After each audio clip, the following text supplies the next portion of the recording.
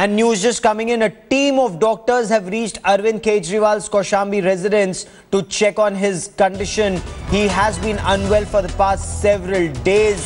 He was running temperature even the day he went and met Prime Minister Narendra Modi to invite him for the swearing in ceremony uh, and also seek full statehood for Delhi.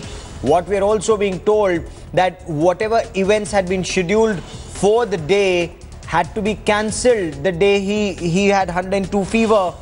He has since been recovering, but now there's a team of two doctors at Arvind Kejriwal's residence in Kaushambi. Headlines today's Ankit Tyagi now joins me with the latest. Ankit, uh, what have doctors said? Uh, what are you picking up? Well, what we know as of now is that uh, Arvind Kejriwal still has fever and his blood sugar levels are high. And that is why in the last uh, day and a half, he has been on complete rest. Doctors are also still saying that uh, it is because of exhaustion uh, of the campaign that continuously he was on the road for more than a couple of months. Uh, doctors are still telling us that uh, he needs a little bit more time to recover. he will require rest for a couple of days. What we are hearing from sources is that after Ramlila, after swearing in, he's most likely to come back. Uh, uh, he'll go to Secretariat, only take charge and come back to his residence and uh, will also rest tomorrow. So uh, he's still under the weather. Arvind Kejriwal, uh, not uh, he, the doctors have told us that he's still having high fever and they are just trying to do their best so that he can be in shape to go for his swearing in ceremony. Okay, uh, he's said to be under the weather. He's uh, he has fever, uh, exhaustion because of extensive campaign. So he does go to Rajghat, that Rajghat leg of the uh, of of uh, post swearing in ceremony and going to secretariat. What else was scheduled for the day that's since been cancelled? Gaurav, let me just clarify one thing. Rajghat was never on the itinerary this time. Uh, uh, what we learned from the sources was that he's not, in fact, going to Rajghat. That was decided a couple of days back itself. Uh, the, plan that was uh, that was initial was that after the swearing in, he will go back to the secretariat, uh, take charge, and then will chair the first cabinet meeting of uh, Delhi cabinet, and then he will be coming back home. what we are hearing from sources is that most likely that cabinet meeting has been cancelled because Arvind Kejriwal is not well. Other than him, all the other ministers would be at the cabinet. They will be taking charge. They will be holding meetings with their uh, with the top officials of their ministries before they call it a day.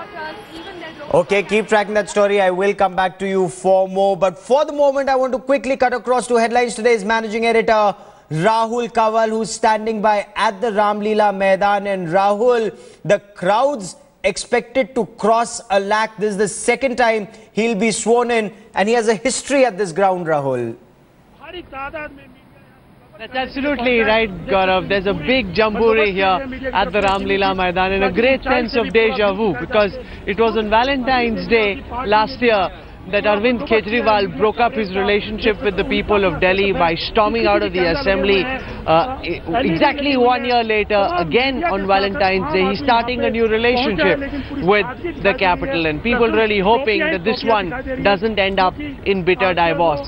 There's a great sense of realism here in the air at the Ramlila Maidan. If Last year it was about romance. There was a certain sense of novelty. The fact that you've got Arvind Kejriwal taking oath here at this big uh, town square, the most popular town square of the capital, uh, there was a sense of novelty to it. This time people have been there, they've seen that there's far more realistic expectations from Arvind Kejriwal. There is still the same festivity, people trooping in, songs being played, a sense of, you know, we've been able to achieve what was thought impossible. But that apart, there's a sense of realization that this time they have a task at hand. This time the people of the capital will not accept any excuse. Uh, they've been given the mandate that they wanted and now they must deliver. I want to go across at this time to my colleague Preeti Chaudhary. She's at a different part of Ramlila Maidan. Preeti, give our viewers a sense of how many people would have come in by now. What are the total number of crowds that are being expected? And as I see around me, there's a huge amount of security deployment, Preeti. You know, because Rahul, you're closer to the dais where Arvind Kejriwal would be taking oath along with his six cabinet ministers. Uh, I'm on the other side, and I'll ask my camera person uh, Kripal to actually give us a bird's eye view of uh, the massive crowds that are already inside the Ram Leela Maidan. Uh, so yes, the ground is filling up, and the numbers that we see inside, uh, and there are many already right now, thousands, uh, at least, you know, it's, it's over a couple of thousand at least, at least. The same number of crowds outside as well. so we were talking to the police police, what the police expects, it expects the crowds to touch a lakh. The Aam Aadmi expects numbers way higher than that one lakh figure. And that's one of the main reasons when you were coming here, Rahul, you must have seen uh, right outside, you know, every 200 meter they've set up screens. So they're going to, you know, what they've done is that uh, from the Aam Aadmi party, uh, the members there. They picked out volunteers who are responsible for each block. This entire Ramlila Maidan has actually been divided into blocks. So you can see, uh, you know, they've been demarcated. Each block, they put four volunteers there to manage the crowds. And it's their responsibility that uh, there is uh, no pandemonium. Everybody sits quietly. The first few uh, rows, of course, have been reserved for women and uh, children and old people. That's what we are told. And what they are planning to do is, and they're doing it in quite a systematic fashion. They're filling up the seats right behind behind uh, and then slowly the women and children coming up uh, first. So what they are expecting, the Aam Aadmi Party, the uh, okay. volunteers we were talking to, crowds way over one lakh and if they can't come inside, they see, uh, you know, uh, the going on from the screens set up outside. That's absolutely true. In comparison to the last time, this far better organized. And that's also true about the Aam Party. They've been there, they've done that, they have a far better sense of what needs to be done. Joining us also at this time is my colleague Kamaljeet Sandhu and Ankit Tyagi, who covers the Aam Aadmi Party for us and tracks the party more closely than most journalists on the beat. What's the mood this morning, Ankit, in the Aam Aadmi Party, given the fact that their leader is unwell and he's got this uh, terrible fever from which he hasn't yet been fully able to recover? Is it a bit downcast? Because last time he made a stirring speech.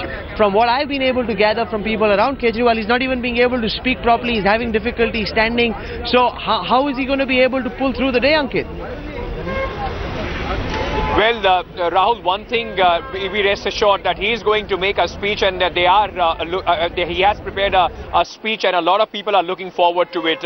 he is under fever, the blood sugar levels are also high, but within the party there is a great sense of, you know, of enthusiasm. They, they, are extremely happy. This is something that all their volunteers, especially more than the leaders, if you speak to their volunteers, the, the young men and women, boys and girls, those who have been relentlessly working for the Aam Aadmi Party throughout this election for the last uh, many months. Uh, in fact, they started their campaign right in October, started going door to door. They are extremely happy today. Uh, it's almost a dream that is coming true. It's much more enthusiasm than it was last time because last time uh, it was 28 seats. It was uh, still seen a lot of controversy.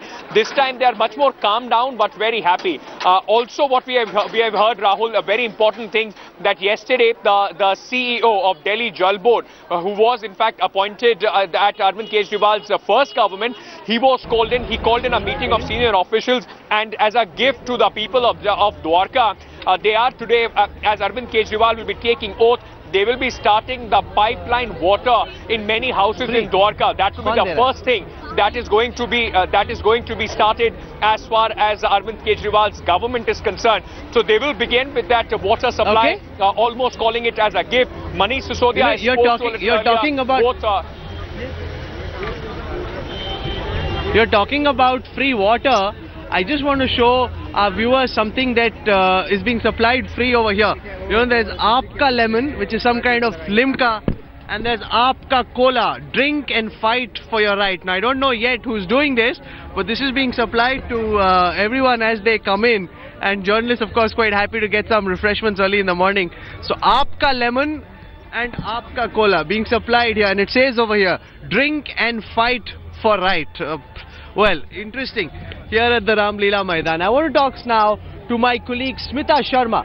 She's joining us from right outside the Ramlila Maidan, giving our viewers a sense of the security arrangements here. Smita, take it away.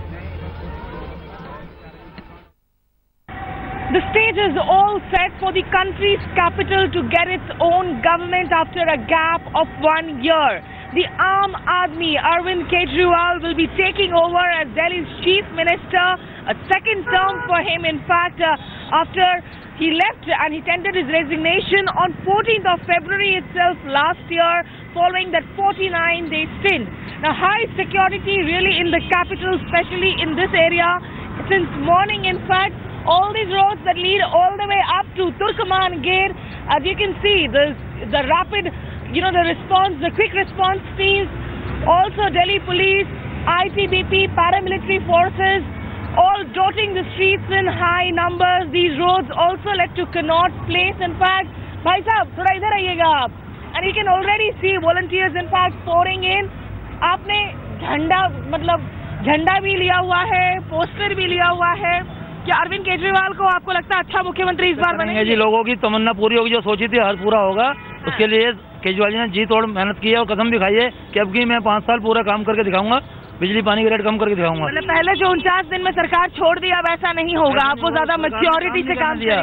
सरकार ने काम नहीं करने नहीं दिया इसलिए उनको जाना पड़ गया मजबूरी में हाँ So, you know, as you can see, people enthusiastic around here. Of course, uh, all the police personnel dotting these streets in high numbers. People have been invited to Ram Leela Maidan, that very ground from where Anna Hazare had launched his anti-corruption Andolan, that movement that gave rise, of course, to leaders like Arvind Kejriwal and Dr. Kiran Bedi as well, who was defeated while contesting from a BJP ticket. For now, of course, the president's rule now has been revoked and Arvind Kejriwal all set to swear in with his team of ministers. In New Delhi, here outside the Ramlila ground, the video journalist Alok Bhatnagar, Smita Sharma for Headlines Today. We're heading into a quick break right now. I'm going to get a quick swig of that Aapka lemon and when we come back we'll take you across live to Bhiwani in Haryana. That's the place where Arvind Kejriwal comes from. My colleague Jeet Sandhu is joining us from there early this morning to get a sense of what the people in the village where Kejriwal was born think of his big day. We return live